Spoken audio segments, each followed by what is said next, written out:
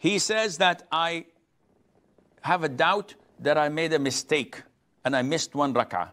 What should I do? Akhi, if you are doubtful and you don't know whether you prayed three or four, ignore the doubt, which is the fourth, because three are certain. And complete your prayer by adding a fourth rak'ah and then offering sujood al-sahu before the salam. But if you're doubtful and you think that, no, I'm inclined that this is my third rak'ah, or I'm inclined that this is my actual fourth rak'ah. So you're inclined to one of the two, go on with your inclination and also perform sujood al-sahu after the salam and then offer another salam.